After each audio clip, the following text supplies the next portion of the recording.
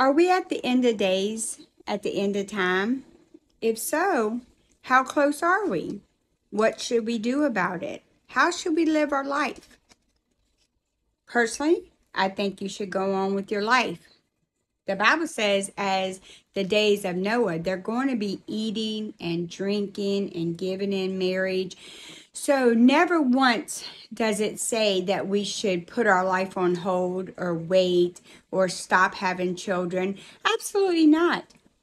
If you need to get married, get married. If you need to have babies, have babies. Go about your life. Occupy until Jesus comes. However that looks, I don't know. I'm not the expert. However that looks, continue your life. Tell others about Christ. We're supposed to go in, out into the world. We're supposed to make disciples. We're supposed to try to snatch people out of the fire. I think that's the reason we're here.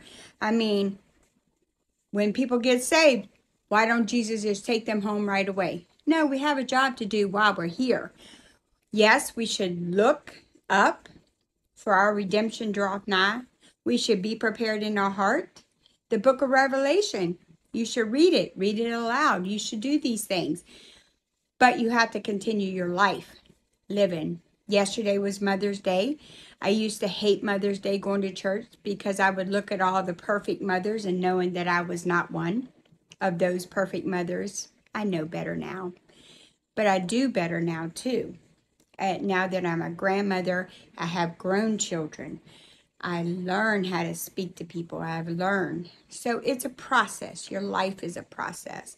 So if you're a mother, happy Mother's Day. If you're trying to have children, not able to have children, or a, a mother to fur babies, happy Mother's Day.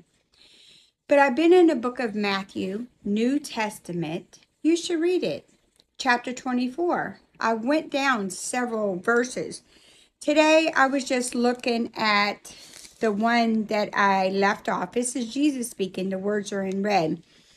And then many will be offended and will betray one another and will hate one another.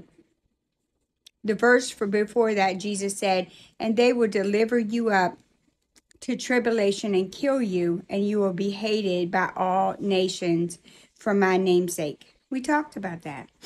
And many will be offended Mm-mm-mm, and will betray one another and will hate one another. That's happening right now. You can go out in public and you can speak any name that you want, any false God that you want.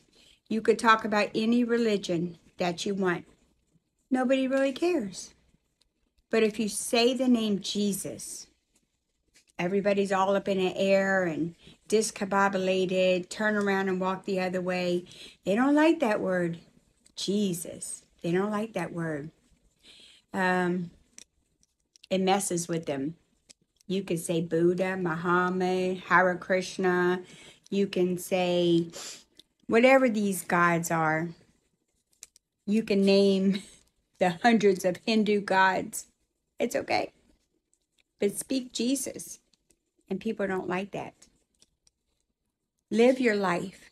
Live your life every single day. Try to be a better person than you was yesterday. Like I said, when I grow, when my kids were growing up, I hated going to Mother's Day church. I knew I wasn't the mother that that pastor was talking about. I knew I wasn't that perfect mother. I would yell and fuss and cuss at my kids. I'm still not that perfect person, and I never will be. But every day we need to live our life, get married, have children, be a mother, be a parent, be a be a worker, be a stay-at-home worker, whatever it is you do, do. Read the word of God.